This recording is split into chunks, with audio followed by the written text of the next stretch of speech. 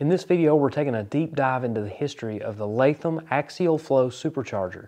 This is one of the most fascinating supercharger systems of the 1950s and 60s, and it's also one of the rarest with only about 650 units produced. And luckily, we got our hands on one of them. Not sure exactly what we're going to do with it just yet, but it inspired this research project to find out all the details about this supercharger, what makes it cool, what makes it rare, what makes it valuable, and why everybody on the internet is fascinated by this crazy design.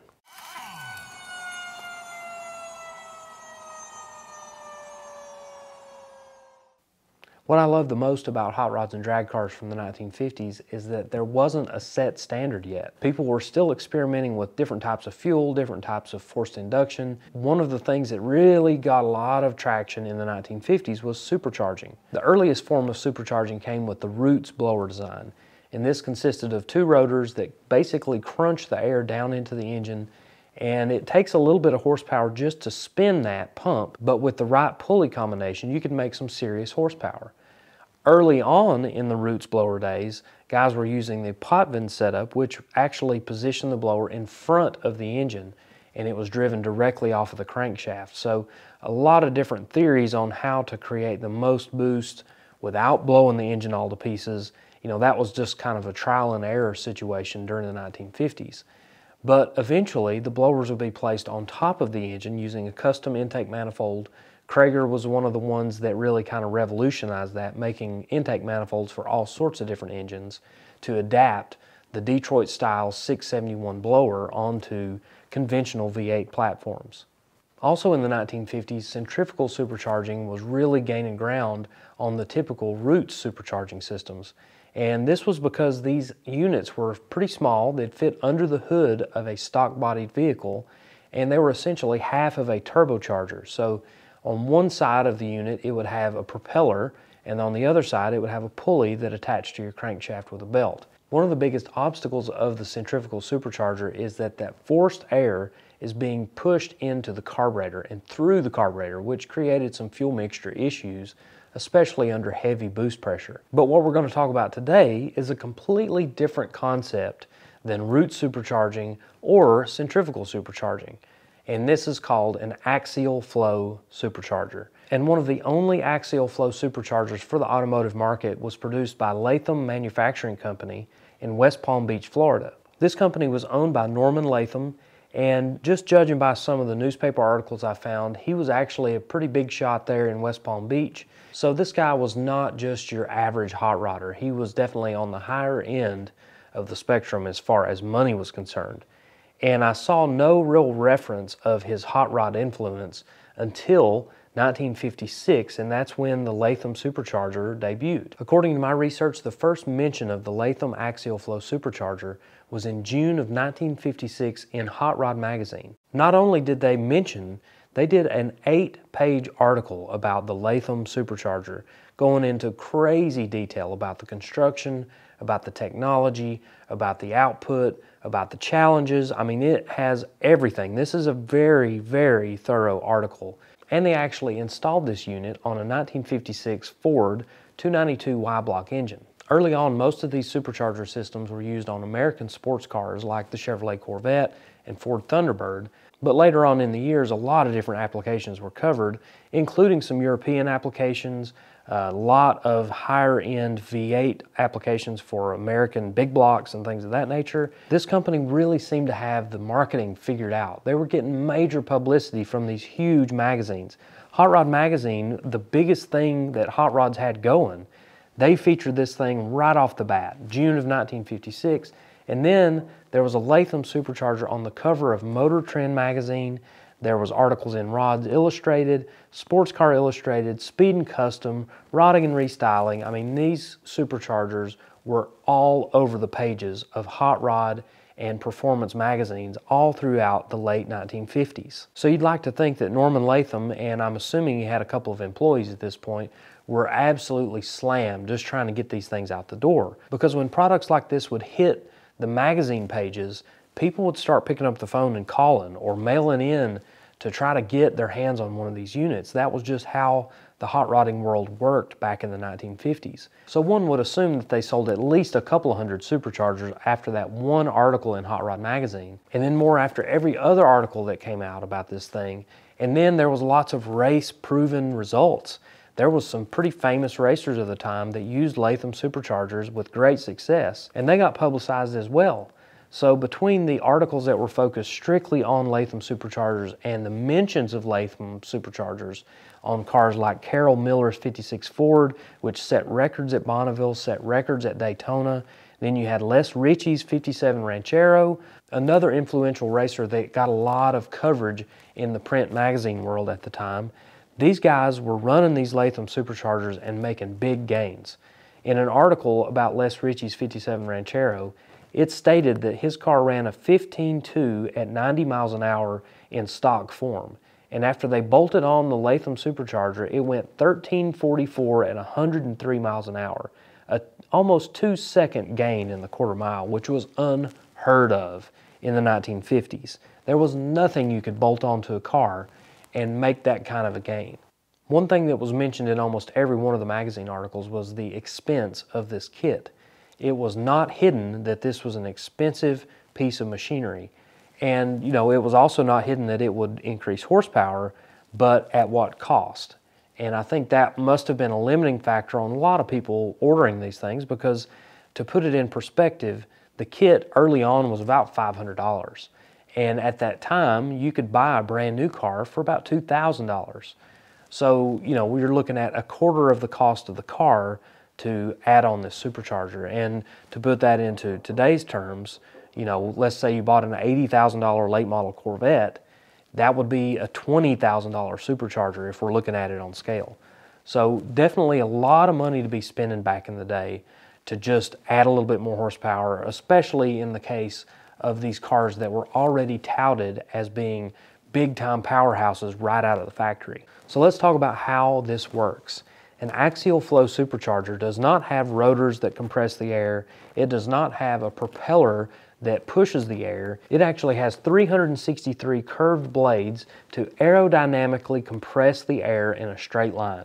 So essentially the air comes in at the front of the supercharger and goes through several stages and exits at the rear of the supercharger in a small rectangular hole. And the particular supercharger we're looking at here is an 11 stage. You can see those numbers stamped in each ring and that designates how many stages of those rings and blades are inside of this blower. So theoretically, with more stages, it increases the velocity of the air when it gets to the back of the supercharger. And even then, these things only made about seven or eight pounds of boost.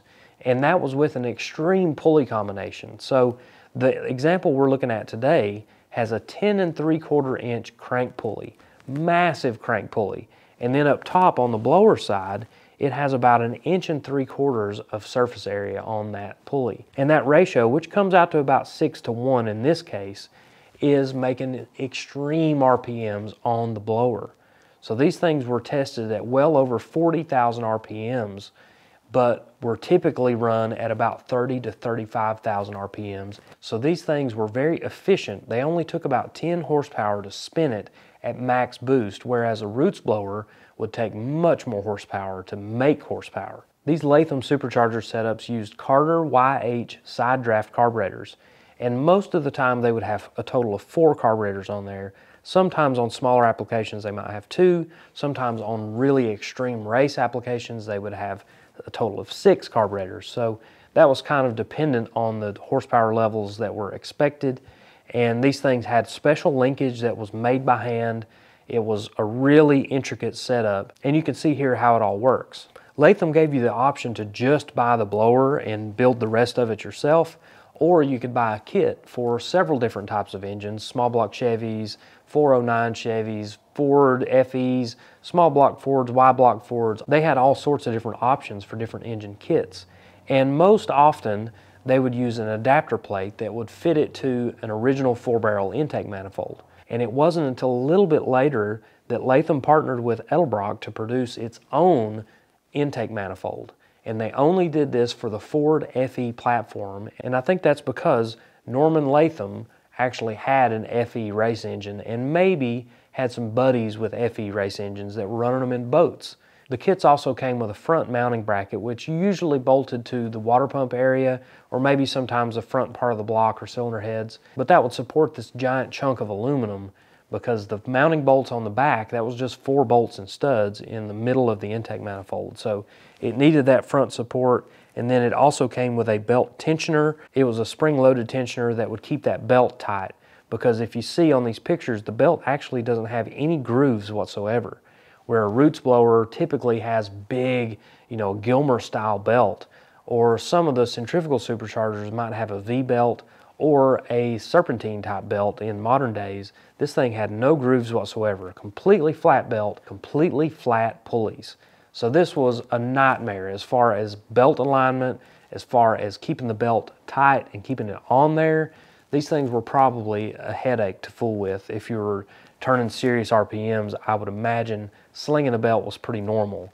But an advantage to the Latham unit is that you could run it without a belt and it would feed through the engine just fine. There would be no issues whatsoever whereas a root supercharger, if you sling a belt, you're in big trouble. Another claim to fame of this Latham supercharger unit is that it increased fuel mileage significantly.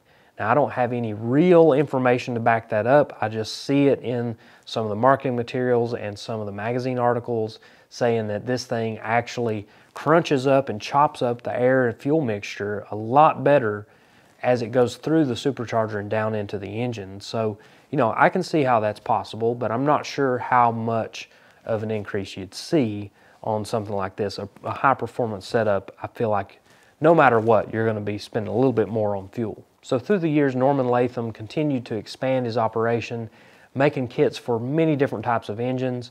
And you can see here on this price list that it was getting pretty expensive to play the game. So a complete kit for an American V8 car you know, you're looking at seven, eight hundred bucks, maybe even up to nine hundred dollars, depending on what you're getting. And that was a lot of money back then to spend on a supercharger setup. So these things hit the ground running with a pretty high price tag in 1956. And by the mid 1960s, they were just out of sight.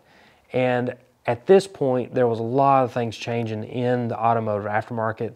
There were tons of companies bringing out different products, and it was really a turning point for Latham superchargers.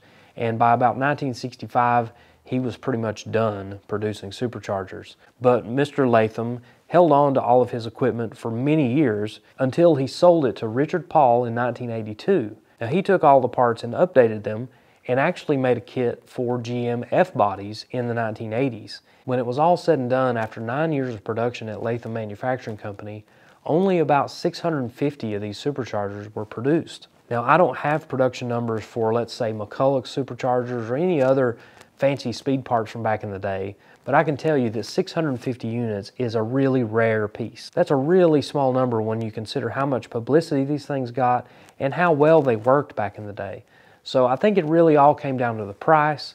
It was a little bit too rich for everybody's blood during that time, and it just didn't hit at the right timing in the market. And for me personally, I've been to a lot of car shows, a lot of nostalgia drag races, a lot of swap meets, and I have personally seen two of these units.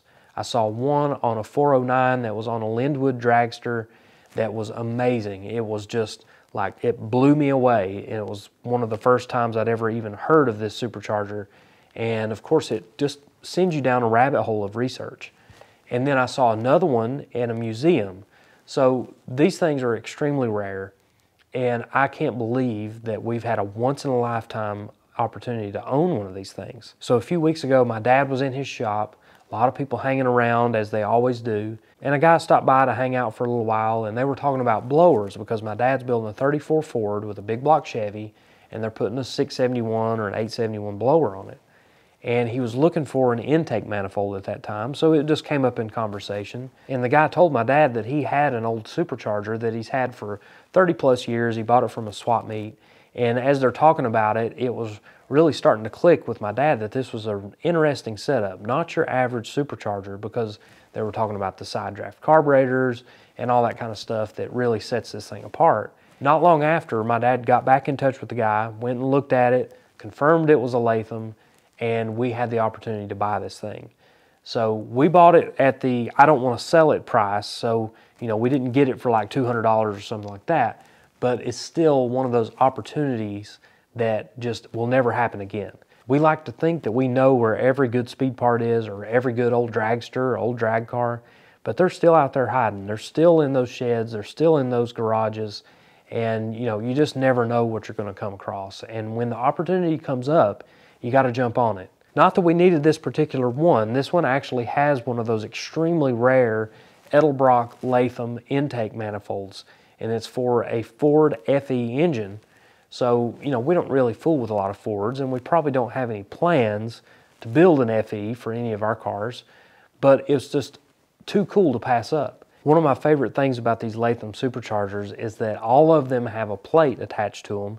Now, sometimes you'll see them without the plate because the rivets get ground off or something gets damaged or whatever, but most of these things have that plate intact, and that allows you to see the model number, and in our case, it's a 16A, and this is an 11 stage housing. So this is the biggest one that you could get at the time. And also on that plate is the serial number.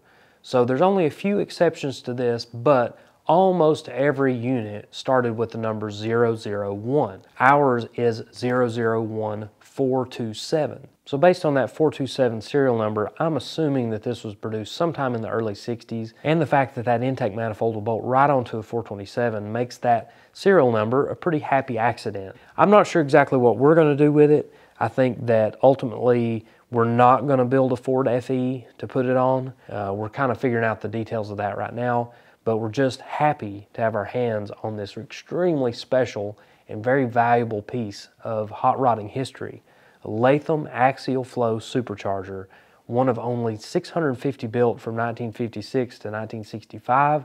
This is an awesome piece and it's just another piece of our collection of hot rod and drag racing components. And it once again sent me down a rabbit hole of research trying to find out every piece of information I could get. So I appreciate you following along. Stay tuned for more. All right, so curiosity got the best of me. Got me a big old socket. It's one and 16th inch and I want to put it on here with my impact. I looked it up and this impact is good for about 7,500 RPMs. So that's just barely above idling speed for this supercharger. This thing would spin up to 35,000 RPMs. So we're gonna give it a go here, starting slow.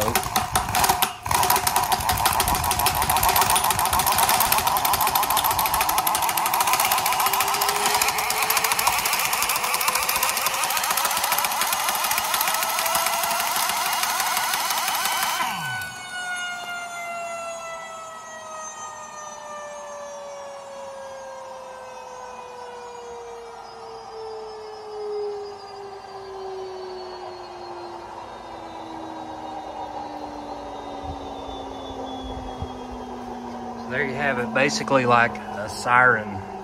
And I can't imagine what this thing would sound like at full song, 35,000 RPMs. Notice how smooth that bearing is.